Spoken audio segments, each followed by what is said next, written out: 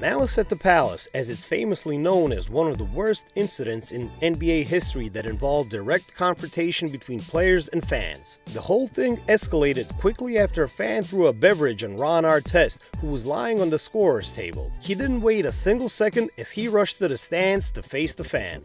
After a couple of minutes of complete chaos, cooler heads prevailed, and of course, a lot of players were ejected and suspended. 18 years have passed since the incident, and what is cool is that Ron Artest, now known as Metta Sandiford Artest, is a good friend with the guy who threw the cup. The guy that actually started the whole thing that threw the beer, he and Ron speak daily. They keep in touch, and they're really good friends. I don't know how they're still friends, it's amazing. But Ron's that type of guy though, you never know what to expect from Ron said Stephen Jackson via ESPN's The Jump. Artest assaulted the wrong fan instead of Green, who instigated the whole incident. After the game, Artest received a suspension without pay for the rest of the season. His friend Green got sentenced to 30 days in jail and 2 years probation. He said that he was sorry that the whole thing embarrassed him as it did me. It's not like it's not always going to be known as the brawl, but maybe we could take something good out of it, said John Green via ESPN's The Jump. Stephen Jackson also received a 30 game suspension by the NBA and was not so happy about making friends with a guy that essentially cost him a lot of money because of all the fines he had to pay and the reputation he lost along the way.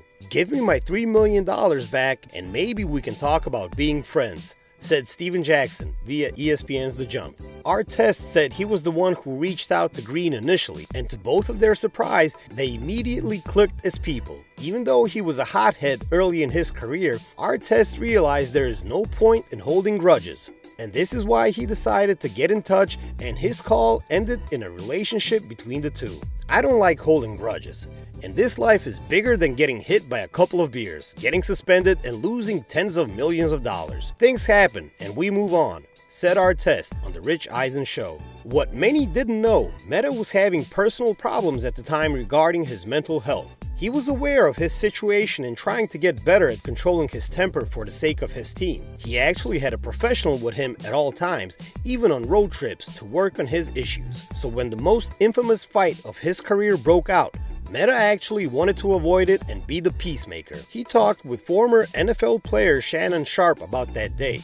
Metta revealed how he tried to apologize to Ben before the situation got out of control, but without much success. I was doing therapy sessions like every day, so anytime I was getting an issue like when I fouled Ben and he pushed me, the first thing that I did they don't show this. The first thing I did was like apologizing. My bad, Ben. But Ben was so mad, he just pushed me. I didn't get a chance to be like, my bad. So I was like this.